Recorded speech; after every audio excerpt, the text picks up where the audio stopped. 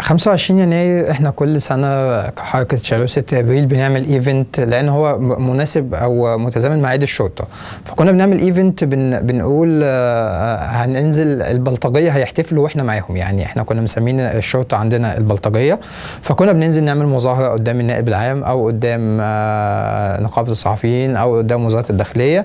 بن بنندد بالتعذيب والجرائم اللي بيقوم بيها الشرطة المصرية آه، يوم عيدهم. ف وبنعمل مظاهرة وبنرجع. ده كان بيحصل كل سنة يعني من آه، 2009 2010 وبالفعل يوم 2000 في 2011 كنا بندعي وعملنا إيفنت يوم 4 آه، يناير آه، بنقول فيه البلطجية هيحتفلوا يوم 25 وإحنا معاهم. كانش في دماغنا خالص إنها ثوره كنا هننزل على إنها مظاهرة عادية هتتم وهتتعمل وهنرجع تاني آه، زي كل مرة.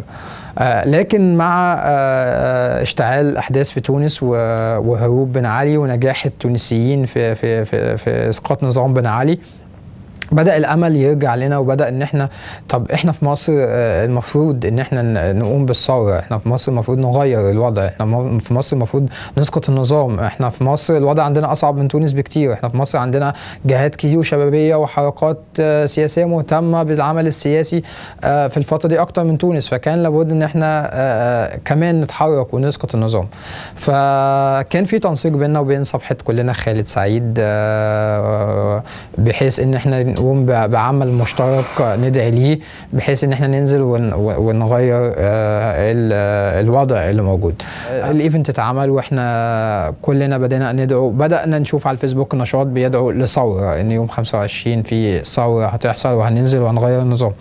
فينا اللي كان متفائل وفينا اللي كان متشائم. يعني فينا اللي كان بيقول لأ مش ثورة ما فيش ثورة بيبقى محدد ميعادها إحنا هننزل نحتفل. هو كان بيتكلم بيقول كده كان خايف على الناشطين الجديد أو الناس اللي هتشارك بشكل جديد انها يتم إحباطها لو تم آه، آه، إحباط اليوم وتم ق- قمعه من قبل النظام آه، فكان خايف عليهم. وفي تاني كان من نوع المتفائل يقول لا هننزل وهيحصل حاجة وهنغير البلد ومش هنرجع إلا لما تقوم ثورة.